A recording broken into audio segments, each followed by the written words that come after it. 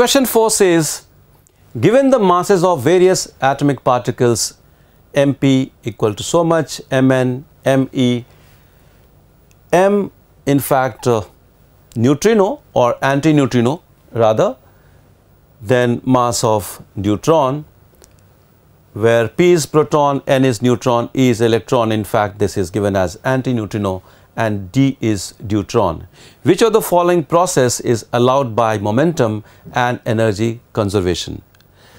Well, the four processes have been given and we have to select the one which is allowed considering momentum and energy conservation. Let us look at the options. If we look at the very first option, we have n plus n, no, giving a deuterium. This reaction is not possible because of consideration of, you know, Pauli's exclusion principle. So that's why two neutrons they do not fuse together as such. So this reaction is ruled out. If we look at n plus p is equal to d plus gamma, well here we see that you know the mass on the left hand side is coming out as greater than the mass on the right hand side. That is clearly calculated from the values provided. So, this reaction is possible considering the energy and the momentum because you know the Q value is going to be positive because mass of reactants is greater than mass of the product. Let us also analyze the other options. If we look at the third option, clearly mass of proton is less than mass of neutron itself. So, the Q value for the third process is going to be negative. So, this is ruled out, it will not happen. And finally, for the fourth process, the momentum cannot be conserved because if we consider that the momentum on the left hand side is 0, the gamma photon has a momentum. So, the momentum conservation principle is violated if we allow this kind of uh, equation to be considered as valid. So, in fact, if there had been another gamma photon, that reaction is very much allowed. That in fact is known as electron positron annihilation. But with only one gamma photon, this reaction is not possible. So, with all this consideration, it clearly means that the best option is option number 2. So, option 2 is correct for question 4. Let us now go to question 5. Question 5 says when a car is at rest, its driver sees raindrops falling on it vertically. When driving the car with speed v, he sees that raindrops are coming at an angle 60 degree from the horizontal. On further increasing the speed of the car to 1 plus beta v, this angle changes to 45 degree. The value of beta is close to. Now the question is clearly from the topic relative velocity and if we look at the situation when the car is at rest, the rain appears to fall vertically to the driver. That means the rain is falling vertically with respect to the ground. Okay. So, let us draw the vector which shows the velocity of rain with respect to ground. Let us call it VR. The direction is known. This is velocity of rain with respect to the ground. And when the car is moving with speed V, let us say that this is the velocity of the car, the magnitude is V. Then respect to the car, the rain appears to come at an angle of 60 degree with the horizontal. So that means we subtract from this vector, this velocity vector. So we add negative of that, magnitude of course will be V.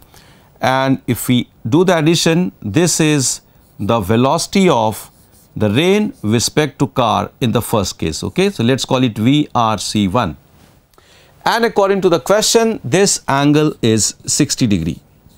So that helps us find a relation between the velocity of the rain and the velocity of the car. Now because tan 60 degree is root 3, the value of tan 60 degree is also equal to VR by V. So let's write it here. VR by V is tan 60 degree that means root 3. This is one equation which will be handy for solving the question. Now when the speed of the car is increased to 1 plus beta V, the angle changes to 45 degree. What does it mean? It means that VR is in fact equal to 1 plus beta V. Okay? So that gives us the relation that VR which is root 3V is also equal to 1 plus beta V and solving for beta is pretty easy now. Beta comes out as root 3 minus 1 and root 3 is 1.732. So the value of beta comes close to 0.73. If we look at the options, it clearly matches with option 3. It's time now to go to question number 6. And question 6 says a fluid is flowing through a horizontal pipe of varying cross section with speed v meter per second at a point where the pressure is p pascal. At another point where pressure is p by 2 pascal, its speed is v meter per second. If the density of the fluid is rho kg per cubic meter and the flow is streamline, then V is equal to the four options are given. The question is from the topic Bernoulli's equation.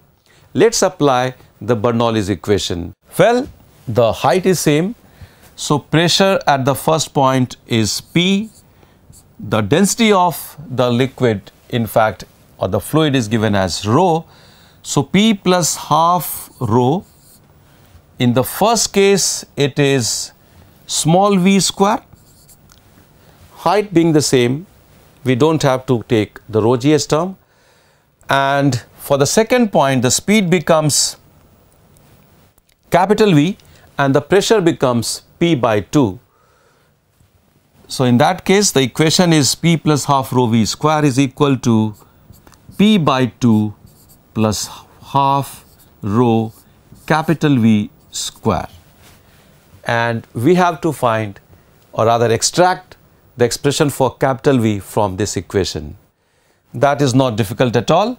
We have half rho capital V square is equal to P by 2 plus half rho small v square.